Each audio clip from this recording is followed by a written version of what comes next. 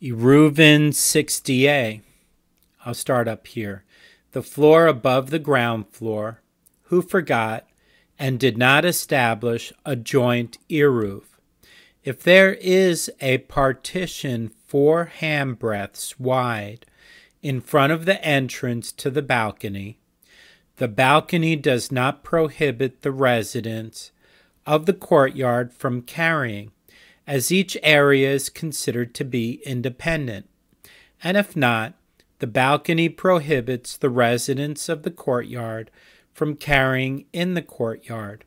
This indicates that a ladder between two courtyards is always considered an entrance, even when that policy leads to a stringent ruling unless the two areas are separated by a partition. The Gemara answers, With what are we dealing here? With a case where the balcony is not ten handbreadths high from the ground. Consequently, it does not constitute a domain in its own right, and it is part of the courtyard. The Gemara asks, if the balcony is not ten handbreadths high, and is therefore part of the courtyard, when one places a partition what of it? The balcony should nevertheless be considered part of the courtyard. The Gemara answers, We are dealing here with a balcony that is entirely fenced off, except for a section up to 10 cubits wide, which serves as an entrance.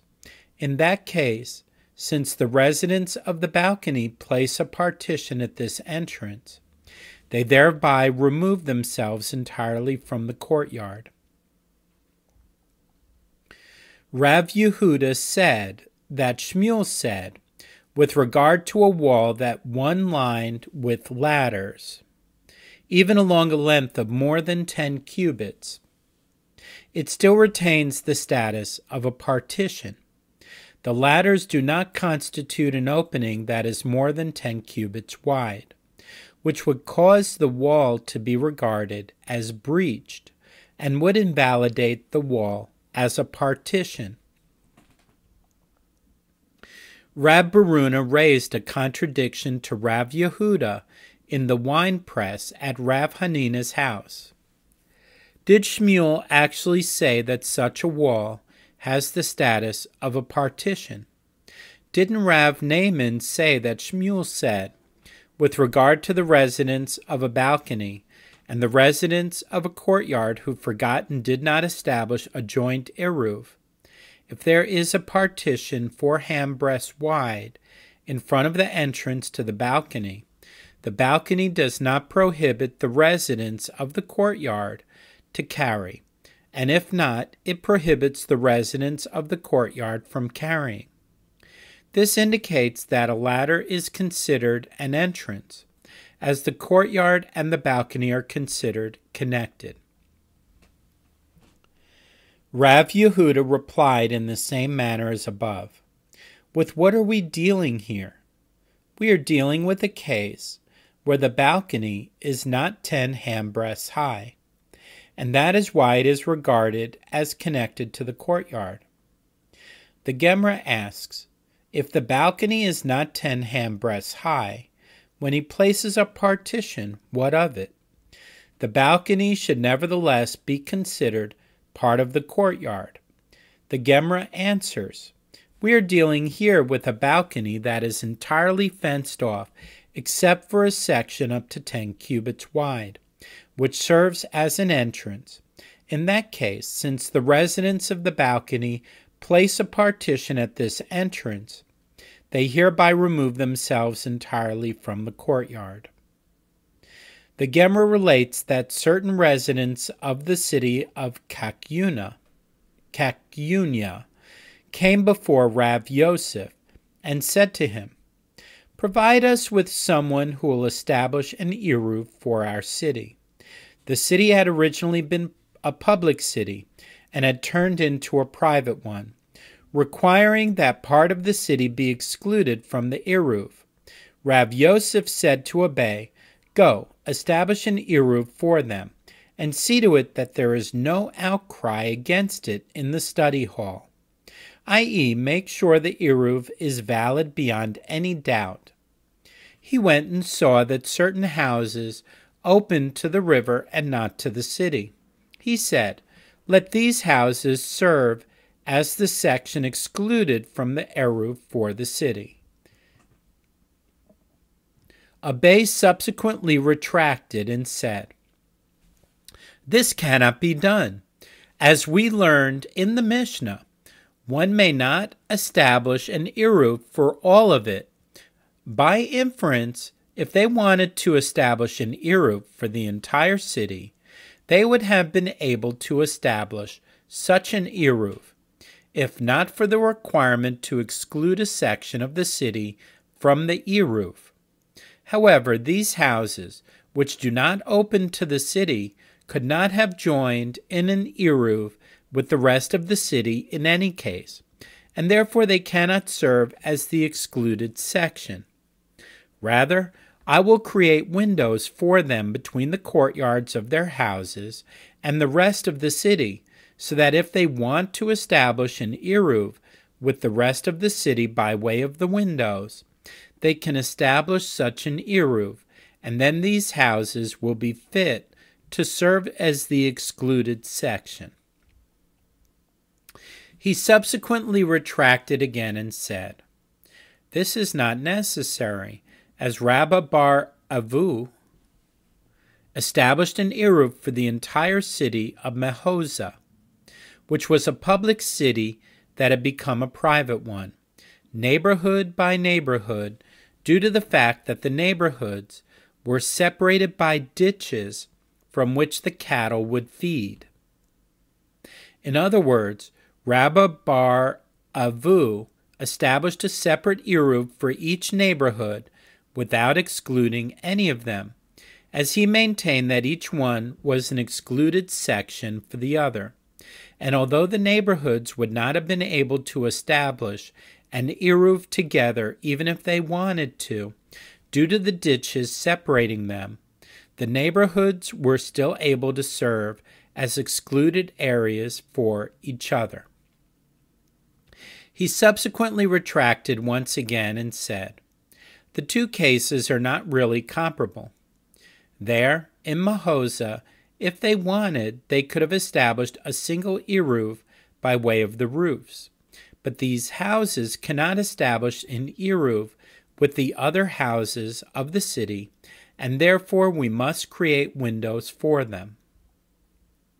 He subsequently retracted yet again and said, Windows are also not necessary, as that storehouse of straw which belonged to Marbar Pophedata from Pumbedita was designated as the section excluded from the Eruv arranged for the city of Pumbedita, which proves that it is not necessary for the excluded section to be one that could have been included in an Eruv with the rest of the city.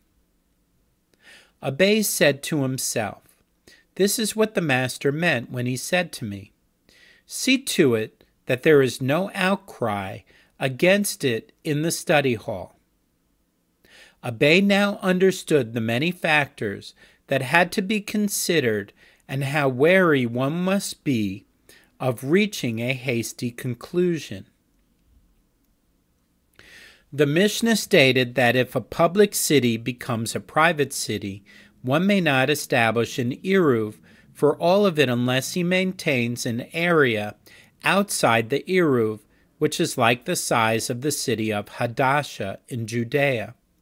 It was taught in a Baraita that Rabbi Yehuda said, There was a certain city in Judea, and its name was Hadasha, and it had fifty residents, including men, women, and children.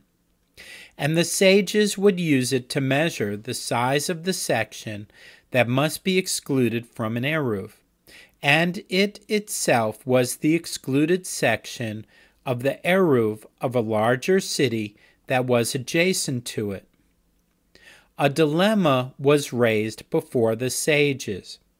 As for Hadasha, what is the halakha? Is it permissible to establish an Eruv for Hadasha itself without excluding a section of the city from the Eruv? The Gemara answers, with regard to Hadasha, just, it is, just as it was the excluded section of the larger city, the larger city was also the excluded section of the smaller city. Rather, the question pertains to a small city, like Hadasha, that stands by itself, not in proximity to a larger city. What is the halakha? Does a small city require an excluded section or not?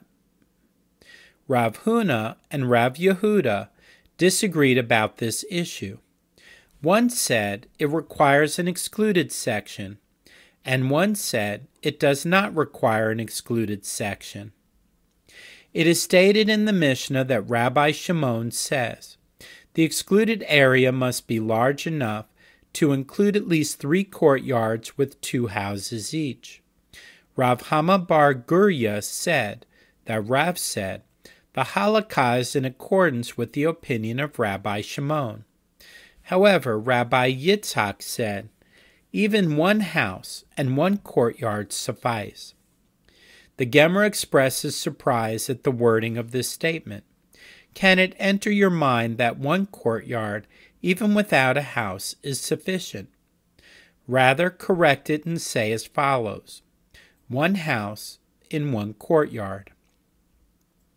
Abai said to Rav Yosef, is that ruling of Rabbi Yitzhak based on oral tradition or his own logic?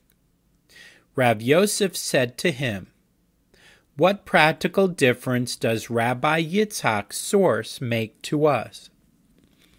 Abai said to him, quoting a well known adage, When you study Talmud, is it merely a song? Is the material you study like the lyrics of a song that you do not understand. It is proper to investigate all aspects of the statements of the sages, regardless of the practical ramifications.